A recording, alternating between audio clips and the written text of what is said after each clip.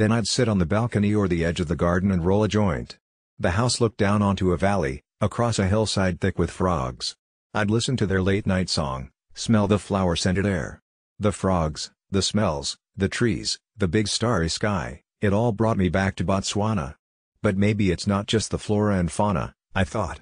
Maybe it's more the feeling of safety. Of life. We were able to get a lot of work done. And we had a lot of work to do. We launched a foundation, I reconnected with my contacts in world conservation. Things were getting under control, and then the press somehow learned we were at Tyler's. It had taken six weeks exactly, same as Canada. Suddenly there were drones overhead, PAPs across the street. PAPs across the valley. They cut the fence. We patched the fence. We stopped venturing outside. The garden was in full view of the PAPs. Next came the helicopters. Sadly, we were going to have to flee. We'd need to find somewhere new, and soon, and that would mean paying for our own security. I went back to my notebooks, started contacting security firms again. Meg and I sat down to work out exactly how much security we could afford, and how much house. Exactly then, while we were revising our budget, word came down, Pa was cutting me off. I recognized the absurdity, a man in his mid-thirties being financially cut off by his father.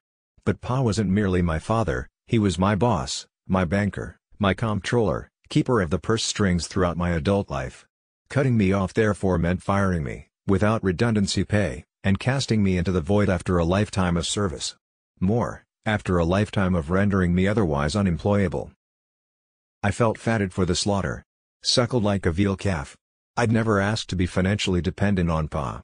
I'd been forced into this surreal state, this unending Truman show in which I almost never carried money, never owned a car, never carried a house key, never once ordered anything online, never received a single box from Amazon, almost never traveled on the underground. Once, at Eton, on a theater trip, sponge, the papers called me.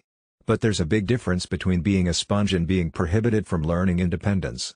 After decades of being rigorously and systematically infantilized, I was now abruptly abandoned, and mocked for being immature? For not standing on my own two feet?